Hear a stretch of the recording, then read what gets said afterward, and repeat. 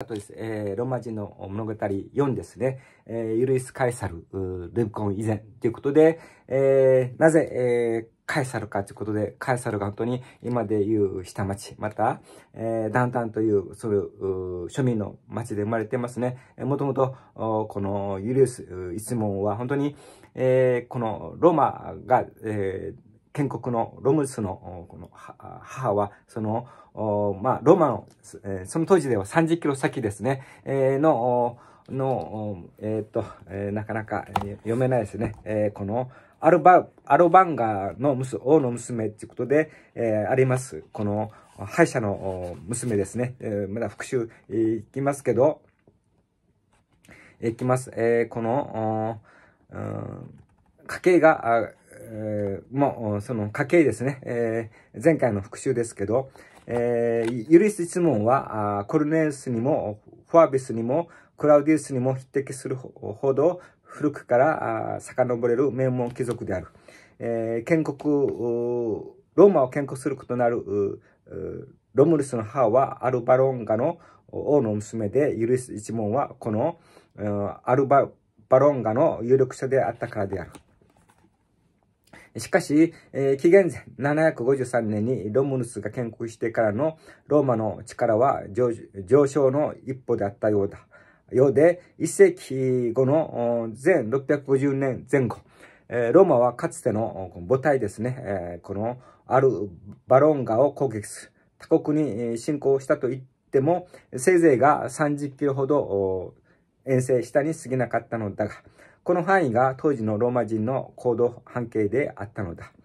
ピクニック程度の遠征にしても、3代目のトリウス、オスティウスによって行われた侵攻は成功し、ローマ軍は勝った。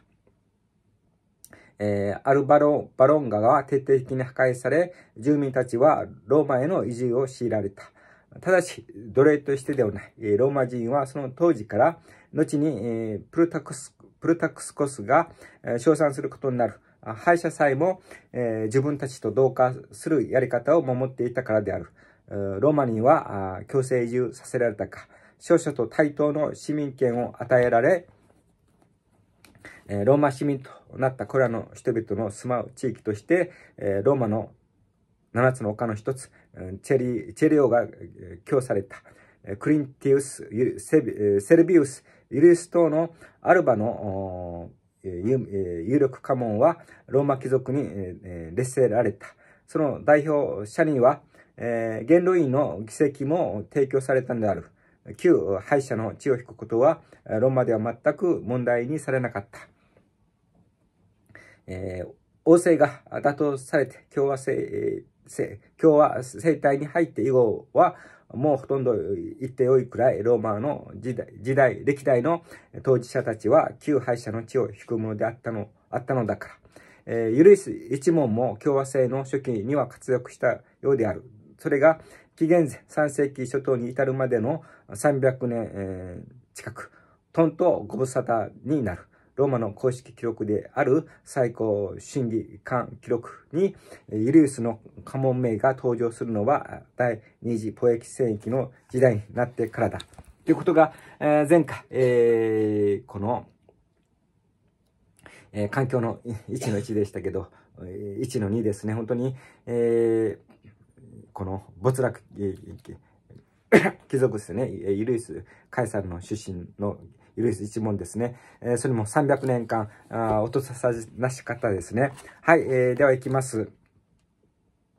えー、この、ローマがハンニバルとの間に死闘を繰り広げていたその時代、えー、ユルイス一門の人々が、えー、カルタゴ軍相手に、えー、前線し、えー、その先行によってカエサルとあだ名された、されたとある。そのあだ名が家族名になったらしい。えー、カエサルとはカルタ語の言葉では像を意味する。あだ名が家族名に、えー、転化するのはローマではよくあることだった。えー、ところが、この後、またも、ユリス一門もカエサル家もトンとご無沙汰の状態が再開される。この時代、えー、何十人と死生観を出していたコリネウスやクラウディスやファービス一門に比べ、ユルイス一門全体で、えー、出した死生観は一世紀の間にたったの一人、えー、毎年二人ずつ選出されるのが死生観である。ど、どうにもパッとしない名門貴族であったのだ。えー、前一世紀に入ると、一人死生観が出てくるが、このリキウス、ユリウス・カイサルは、我らがガイウス、ユリウス・カイサルの父親ではない、叔父であった。我らがカイサルの父親は、えー、法務官の経験を持つだけ,、えー、だけだった。法務官、プラププラトレプラトレルとは、共和制時代のローマでは、執政官に次ぐ重要な公職である。毎年6人が市民集会で選出される。資格年齢は40歳。元老議員であることが条件だった。そして、法務官としての一定の任期を終えた彼は、前法務官という官職名に代わり、ローマの属種のどれかに属種、属種総督として赴任するのである。これを務めて、後、務めた後で初めて、執政官に立候補する資格を獲得できるのだった。え我らが、カエサルの父親のキャリアは、法務官で終わったのである。えー、属数、属種総督として送られる前に死を迎え、えー、とか、迎えたとかしか考えられない。え、いずれにしてもカエサルは、え、有力者の息子ではなかった。それでもなお、えー、父母の苗さえ不明なスラッカと違って、一代前ならば、家計をたどれるのは、カエサルの父が、えー、一応は法務官まで務めたことと、えー、母親の実家が名門であったからである。うん、母アウレ、アウレリアは法学者と知られ、えー、死生官も務めたアウレリウス・コッタの妹に当たった。えー、カエサル家の経済え状態がつつま、えー、つま、えー、がつましいものであった竜は、えー、名門貴族でも権威を振るう者に長く恵まれず、それがために財を築く機会にも恵まれなかった、恵まれなかったからだろう。それでもローマ有数の名門なのだ。えー、実力で出世しつつあったマリウスが箔をつけるために迎えた妻は、えー、カエサルにはおばに当たるユリアだった。そして、えー、いかに学者一家とはいえ、え死生観をはじめとするローマの養殖にはたびたび選ばれていたアウアウレレス・コッタ家である。その家の娘を、えー、貧乏貴族に嫁がせるはずもない。えー、ここでもスラッカと違って、えー、カエサルの生まれた家庭は、妻、妻、は、妻、家は妻しくても貧乏でなかったとする、えー、古代の歴史家たちの言葉を相入れるしかないのである。た、たとええー、パラティーノの家に家を構えるほどの経済力には恵まれなかったとしても、また、スブラ、スラッパに住んでいたということも、それ自体で即、庶えー、庶民と同じ程度の家に住み、同じ程度の生活をしていたということにはならなかった。えー、城壁の外に開始された市街ならば、えー、経済力の差によって、えー、地域、え、ごとに固まるのが普通だが、現代でいう旧市街、古代での都市都心部では、経済力の異なる家同士が、隣り合う、あっても、ああってあることなど珍しくない。玄関の扉を開けるや、えー、様子が一変するという感じだ。その、その理由は、代々住み着いている人が多いからだろう。とはいえ、えー、パラトニに代々住んでるのと、スブラに代々住むというのでは、やはり違いは歴然としていたということで、えー、この、えー、この、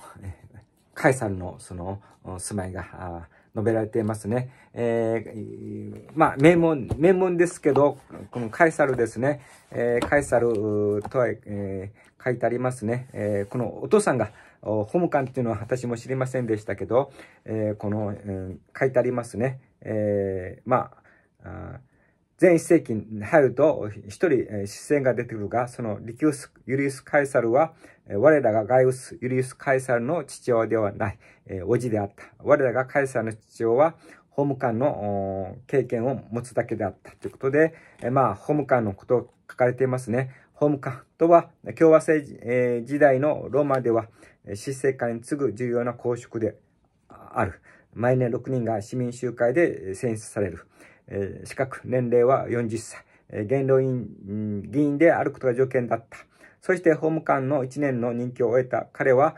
前法務官という官職名に代わり、え、ローマの属州のどれかに属州、総督として赴任するのである。それを務めた後で初めて執政官に立候補する資格を獲得できるのだった。ということで、もう書いてありますね。えー、我らが、このカイサルの父親のキャリアは、えー、法務官で終わったのである。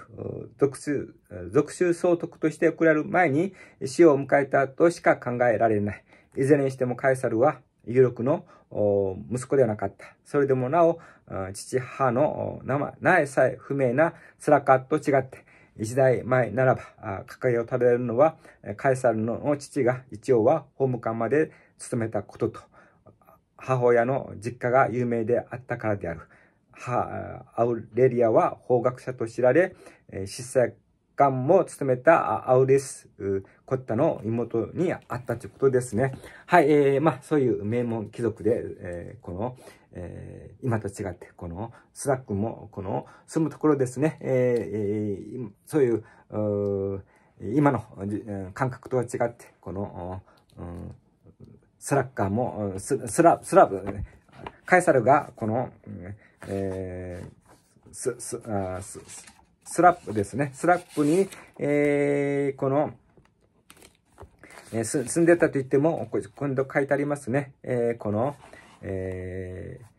また、スラップに住んでたということも、それ自体では即、庶民と同じ程度の家に、えー、住み、同じ程度の生活をしていたということにはならなかった。城壁の外に開始された市街ならば、経済力の差によって、えー、地域ごとに固まるのが普通だが、現代でいう旧市街、古代での都心部では、えー、経済力の異なる家同士が隣あって、隣り合ってあることなど珍しくない。玄関の戸を開けるや様子が一変するという感じだ。その理由は代々住み着いている人が多い、からだろう。とはいえ、パラトニーに代々住んでるのと、スラスラスラップに代々住むというのでは、違いはやはり歴然としていたということで、やはり、えー、カエサルは、えー、まあ、歴然とスラップに住んでいてますね。えー、この後、まだまだ環境ですね。えー、この4年期、6歳までですね、えー、ユリス・カエサルが、えー、住んでいた。どこで生まれ育ったのか、えー、スラック、庶民人、ダウンタウンの感じですね。やっぱり、ということで、えー、やっぱりこの高級街とは違う下町、ダウンタウン育ちのルイス・カイサルですね。まだまだ、あこの4年期の環境が続きますけど、えー、まだ、あえー、気になるところですね。えー、まさとのこの YouTube チャンネル登録、またコメント、いいねボタンとよろしくお願いします。えー、また、えー、このローマ人の物語とは、えまあ少し関係ありますかね。え、聖書を一緒に学びたいお友達募集してますのでよろしくお願いします。次回のローマ人の物語4、えー、ユリス・カイサル、ルビコン以前でお会いいたしましょう。マスターとした主上げです。パッションプロジュー、シャロム、シャロム、シャロム。